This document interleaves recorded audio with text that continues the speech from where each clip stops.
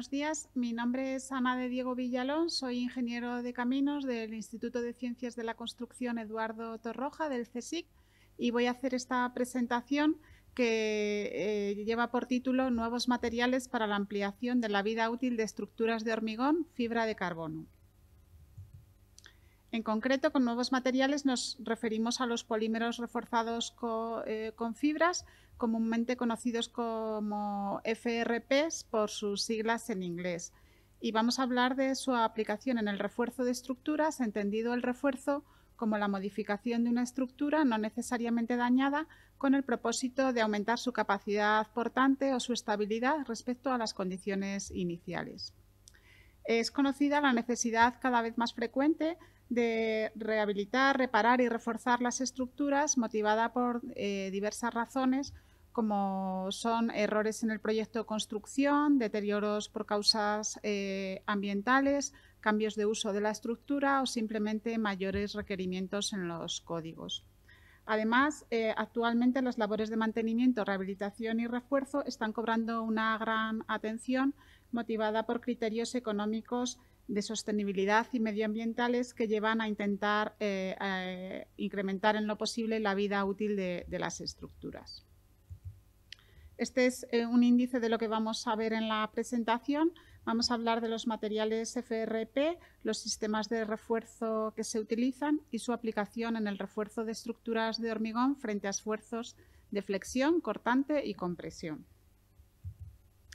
Los materiales eh, FRP empleados en el refuerzo de estructuras son materiales compuestos poliméricos constituidos por fibras continuas de gran resistencia y rigidez embebidas en una matriz en un material polimérico. Hablamos de materiales relativamente nuevos en el campo de la construcción si se comparan con materiales tradicionales como el hormigón o el acero, pero estos materiales han tenido un desarrollo ya muy amplio en industrias más tecnológicas como la aeronáutica, eh, la automovilística o la industria del deporte. Eh, su, uso, su introducción en la industria de la construcción eh, se ha producido más lentamente, pero actualmente cada vez se utilizan más por sus buenas propiedades mecánicas, ligereza, resistencia a la corrosión y versatilidad de uso. Se utilizan no solo en el refuerzo de estructuras, que es de lo que nos vamos a ocupar en esta presentación, sino también en nuevas estructuras. En estas fotografías de la parte inferior de la diapositiva pueden ver aplicaciones de armaduras de FRP o de perfiles estructurales de FRP en nuevas eh, pasarelas y, puentes.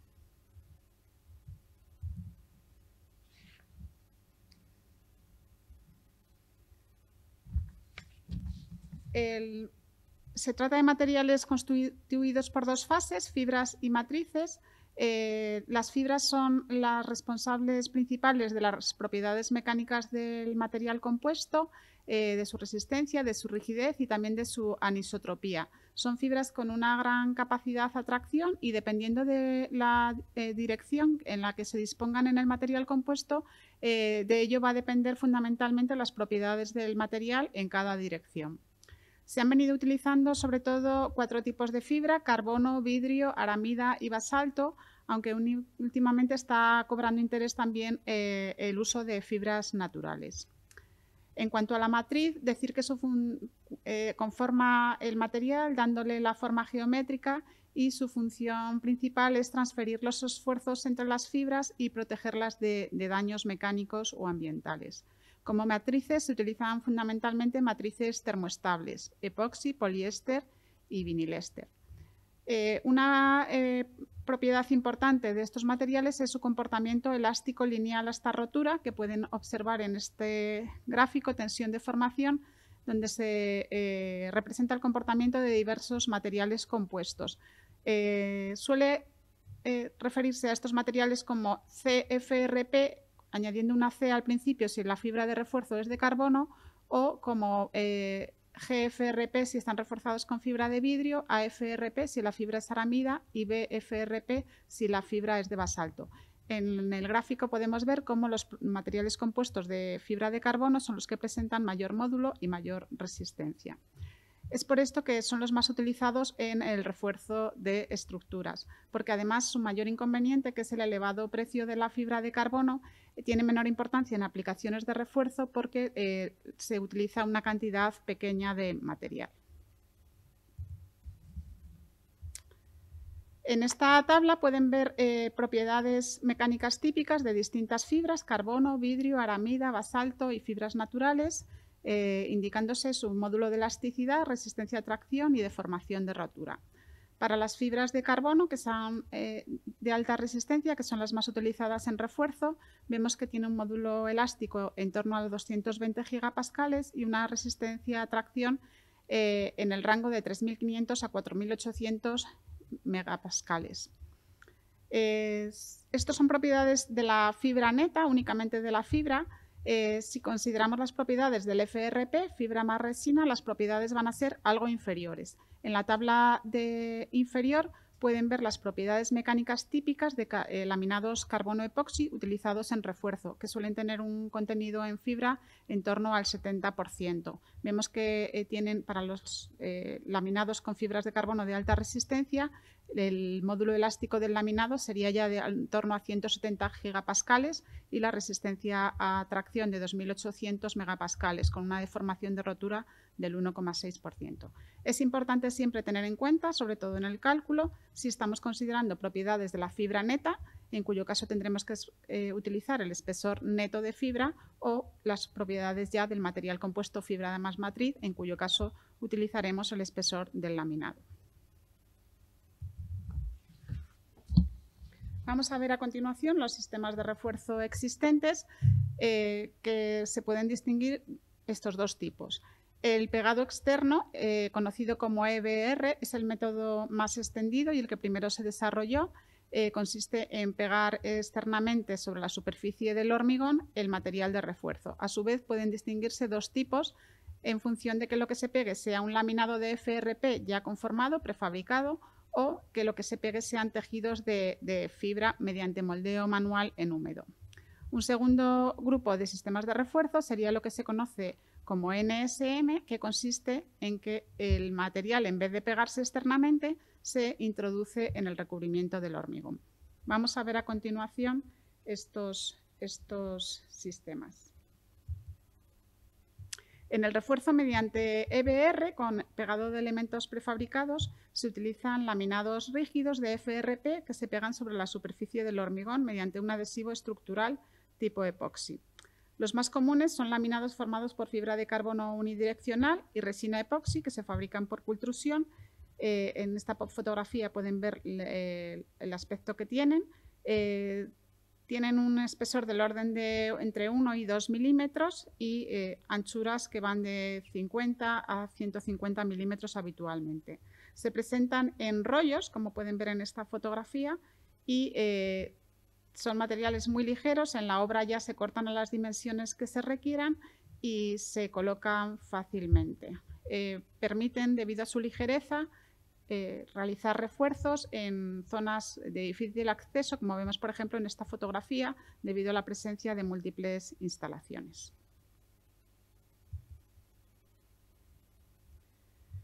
Una de las ventajas de los FRP es precisamente que, se aplican muy fácilmente, pero no podemos perder de vista que la efectividad del refuerzo va a depender de una correcta ejecución. Por ello, deben seguirse estrictamente las especificaciones del proyecto y los requisitos de instalación y procedimientos de puesta en obra eh, específicos de cada sistema de material compuesto. Los procedimientos de aplicación pueden variar ligeramente según el fabricante. Habitualmente se da una capa de imprimación sobre el hormigón, luego hay que mezclar la, resina, el adhesivo, aplicar una capa de adhesivo sobre el soporte de hormigón y sobre el laminado que vayamos a utilizar y después colocar el laminado contra el soporte de hormigón y presionar fuertemente con un rodillo con el fin de que salga el adhesivo sobrante y eh, se elimine eh, cualquier hueco de aire. Es importante eh, también prestar atención a la preparación previa de la superficie, esto tanto en es aplicable tanto a este método de refuerzo con pegado de laminados prefabricados como al de moldeo manual en húmedo que veremos a continuación. Eh, la superficie donde se pegue el refuerzo debe de estar saneada, limpia y seca. hay que retirar las partes de hormigón eh, deterioradas y reparar con un hormigón o mortero adecuados. En refuerzos que sean susceptibles de fallo por despegue, que como veremos más adelante son los refuerzos a flexión y a cortante, eh, es recomendable o hay que realizar una preparación previa con chorro de arena o similar para quitar la, capa superficial y dejar el árido visto. Y es también importante eh, realizar el redondeo de cualquier esquina y arista del hormigón antes de pegar el refuerzo.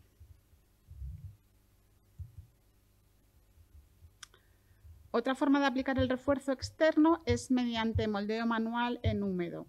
Estos sistemas consisten en tejidos de fibra en seco, generalmente unidireccionales, con toda la fibra dispuesta en una única dirección, que se presentan también en rollos, como pueden ver en esta fotografía, con un ancho de entre 30 y 60 centímetros habitualmente y distintos gramajes, siendo el espesor neto de las fibras del orden de décimas de milímetro. Una ventaja frente al sistema anterior de pegado de laminados es que los tejidos son muy flexibles y se adaptan con facilidad a la geometría del elemento que tengamos que reforzar, lo cual hace que se utilicen mucho en refuerzos a cortante, como el que vemos en esta fotografía central, o en el refuerzo mediante confinamiento de soportes de hormigón. En la obra, estos materiales se cortan a las dimensiones requeridas y se aplican sobre el elemento a reforzar junto con una resina de baja viscosidad que se utiliza para saturar la fibra y adherirla a la superficie del hormigón. El curado de la resina y la, formación del material compuesto FRP, en este caso, se produce in situ, normalmente a temperatura ambiente. Eh, también pueden que oigan hablar de tejidos preimpregnados, que es una variante de este método en el que los tejidos eh, se preimpregnan con la resina en fábrica. Estos contienen ya la, resina parcialmente curada y una vez aplicado sobre el elemento a reforzar se finaliza el curado de la resina, en este caso eh, habitualmente con la aportación de calor. Lo que he comentado para el sistema de refuerzo anterior de laminados rígidos sobre la preparación de la superficie eh, sería aplicable también en este caso, prestando especial atención a, que hay que redondear eh, las aristas y esquinas. Como variante del sistema de pegado exterior, se desarrolló posteriormente eh, un sistema de refuerzo mediante elementos de FRP prefabricados por pultrusión, en este caso barras o láminas de pequeña sección, que en lugar de adherirse externamente sobre la superficie del hormigón se insertan en el recubrimiento. Estos sistemas se conocen habitualmente como NSM. Se realizan rozas superficiales en el, hormigón. Obviamente es necesario que dispongamos de un espesor de recubrimiento suficiente para hacer la roza. Después las rozas se rellenan con resina y se introducen las barras o laminados de refuerzo. Como ventajas de este sistema frente al pegado exterior hay que señalar que se mejora la adherencia entre el hormigón y el refuerzo, que además el refuerzo queda más protegido frente a, daños mecánicos o ambientales y el aspecto exterior, pues el refuerzo queda completamente oculto.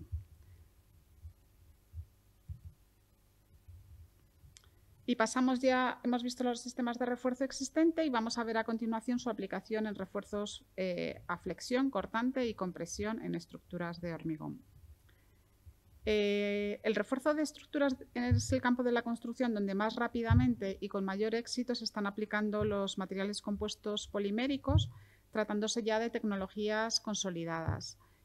Eh, sobre todo en el caso de hormigón, eh, de estructuras de hormigón, que es el que nos ocupa en esta presentación, aunque hay que decir que se utilizan también estos materiales en el refuerzo de estructuras de fábrica, metálicas y de madera. Las primeras aplicaciones se hicieron ya en los años 80-90 del pasado siglo y se utilizan, como hemos dicho, sobre todo sistemas carbono-epoxi.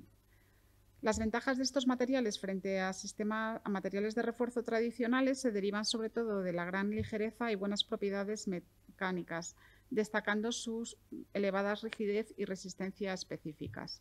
Esto se traduce en economía y facilidad en la puesta en obra, reduciéndose los plazos y los costes de ejecución con mínimas interrupciones en el servicio de la estructura. Al tratarse de laminados muy finos, la modificación que suponen en las dimensiones del elemento reforzado son mínimas, los refuerzos pueden ocultarse fácilmente y no aumentan el peso propio. Además, su resistencia a la corrosión y al ataque de agentes ambientales es una ventaja importante en aplicaciones marinas, costeras y en general en todos los ambientes que sean agresivos. Como desventajas hay que tener en cuenta en los materiales FRP la degradación de sus propiedades provocada por el deterioro de la matriz a temperaturas no excesivamente eh, elevadas, incluso por debajo de 100 grados centígrados. En caso de incendio, por lo tanto, no podremos contar con la contribución del refuerzo, a no ser que la estructura la hayamos protegido adecuadamente. Otro posible inconveniente sería el coste de la fibra de carbono, que como he dicho es elevado, aunque sin embargo el coste del refuerzo es eh, en muchas ocasiones competitivo debido a la reducción de los plazos de ejecución, costes de mano de obra y medios auxiliares, costes de mantenimiento, etc. Y por otra parte, el uso de estos materiales también se ha visto frenado eh, en ocasiones por la falta de normativa, aunque en la actualidad existen ya eh, recomendaciones y guías de cálculo en diversos países. Como recomendaciones generales en el diseño de los refuerzos, cabe destacar que en el caso de que falle el refuerzo, la estructura no debe colapsar, hay que tener en cuenta el estado de deformaciones de la estructura antes de ser reforzada y estudiar en cada caso el material y sistema de refuerzo más adecuados. Pasamos a ver ahora los refuerzos frente a esfuerzos de flexión. Las investigaciones se iniciaron en los años 80 en los laboratorios de LEMPA en Suiza, donde se ensayaron eh, vigas reforzadas con laminados de carbono a flexión. La primera aplicación fue el refuerzo del puente IVAX en 1991, que pueden ver en esta fotografía. Los refuerzos de flexión se pegan en las zonas de tracción con la dirección de las fibras paralelas a aquella de mayores tensiones de tracción y pueden utilizarse tanto laminados prefabricados como tejidos unidireccionales y, y NSM. En las fotografías pueden ver algunas aplicaciones de estos sistemas. En cuanto al cálculo del refuerzo a flexión, hay que decir que se basan los mismos principios que el de los refuerzos con chapas de acero, pero considerando, por una parte, el comportamiento elástico lineal del FRP y, por otra parte, que debemos analizar todos los posibles modos de fallo. Además de los fallos em, tradicionales, como podrían ser la rotura del laminado traccionado o el agotamiento del hormigón en compresión o el fallo por cortante de la viga, hay que tener en cuenta eh, otra serie de fallos derivados del despegue o desprendimiento del refuerzo de FRP. Y precisamente este, este fallo es el que se produce eh, de manera más habitual y característica. Este desprendimiento del refuerzo puede iniciarse desde su extremo junto con el recubrimiento del hormigón o por fallo entre en la interfase hormigón-material compuesto, pero también puede producirse el despegue en una posición intermedia provocada por una fisura de flexión o de cortante en el hormigón. En estas fotografías pueden ver eh, precisamente este modo de fallo en una viga reforzada a flexión ensayada en el instituto con origen en una fisura intermedia del hormigón.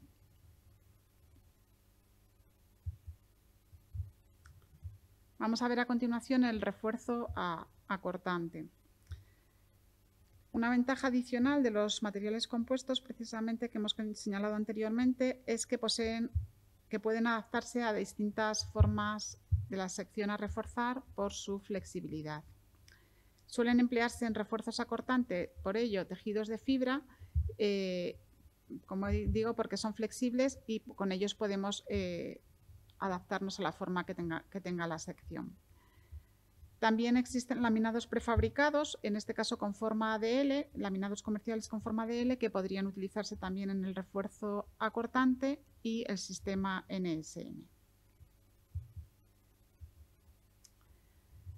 El refuerzo de una viga cortante puede, puede realizarse según diferentes configuraciones geométricas que se muestran en este croquis. El refuerzo envolviendo completamente la sección de la viga es sin duda el más eficaz, pero sin embargo en la mayoría de las aplicaciones reales es complicado, por no decir imposible de ejecutar. Por ello, lo habitual es que los refuerzos acortantes se realicen con la configuración en forma de U.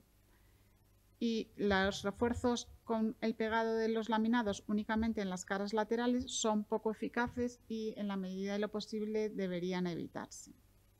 El cálculo del refuerzo acortante exige, también la comprobación del modo de fallo, que generalmente estará también provocado por el desprendimiento del FRP, ya que además los refuerzos acortantes, eh, la longitud de anclaje disponible suele ser bastante reducida. En las fotografías pueden ver el fallo por desprendimiento del refuerzo acortante en vigas ensayadas con refuerzo de, mediante tejidos y con refuerzo mediante NSM. Y finalmente vamos a tratar el refuerzo de pilares sometidos a compresión. El refuerzo de pilares de soportes de hormigón eh, sometidos a compresión se basa exclusivamente en la acción del confinamiento, es decir, el refuerzo en sí no aporta ninguna resistencia a compresión. Es conocido que el confinamiento mejora la resistencia y la deformación última del hormigón. Esto puede conseguirse mediante una cuantía de armadura interna de acero transversal suficiente y en el caso de los materiales compuestos se consigue reforzando los pilares envolviéndolos externamente con el FRP con la fibra orientada en la dirección de los cercos, en lo que sería la dirección perpendicular al eje del soporte que se denomina a 0 grados. El refuerzo se ejecuta habitualmente por moldeo manual en húmedo con tejidos unidireccionales, disponiendo, como digo, la fibra a 0 grados y con, y con una longitud de solape suficiente.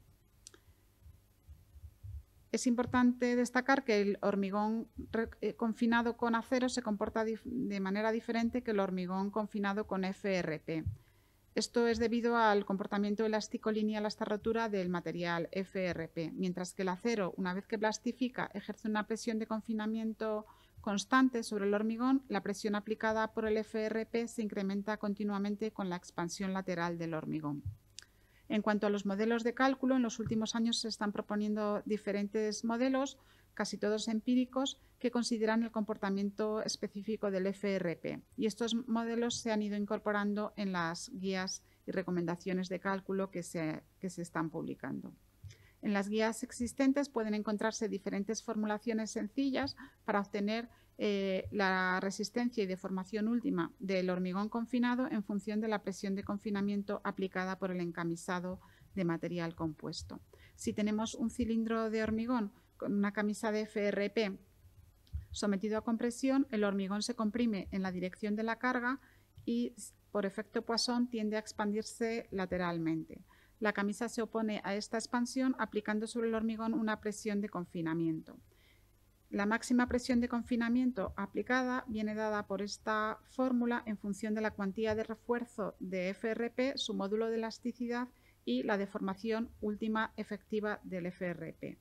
El fallo del soporte reforzado se produce habitualmente como consecuencia de la rotura a tracción de la camisa de FRP y es un modo de fallo también repentino, como podrán ver eh, en el taller 2.9 eh, de este módulo que trata eh, más en detalle el refuerzo, el refuerzo de soportes con fibra de carbono.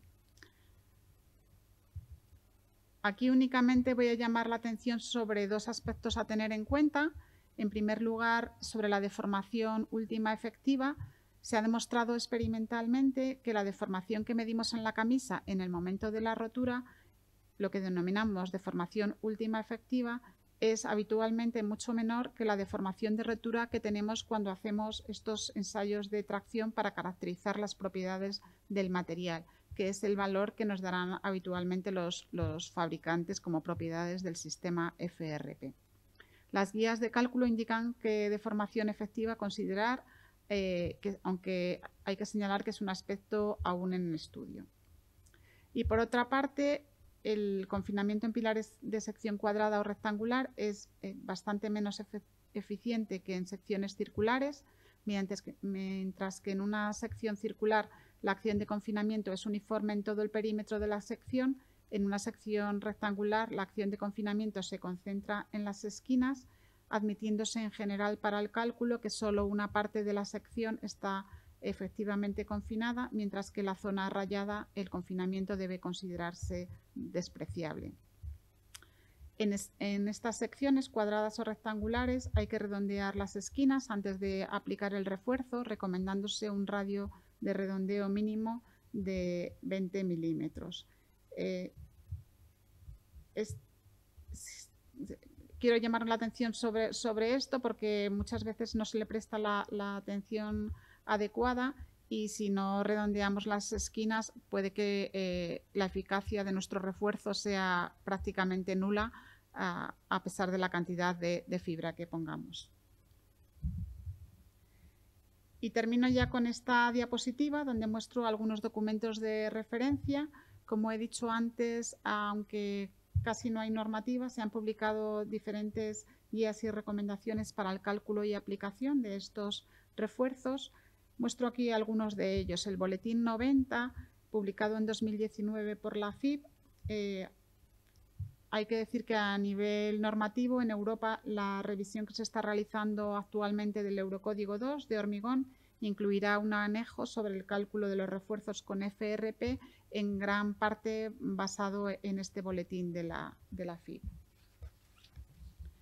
En AFI, el Comité 440 trata sobre el FRP y ha publicado diferentes guías. Aquí pongo la que ha publicado sobre refuerzo de estructuras de hormigón, pero tienen también otras guías sobre armaduras de FRP, refuerzos de fábrica, eh, métodos de ensayo, etc.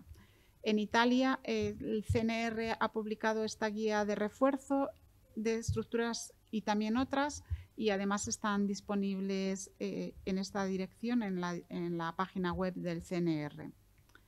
Y por último incluyo aquí en esta diapositiva la, guía británica, aunque como digo se han publicado otras muchas recomendaciones.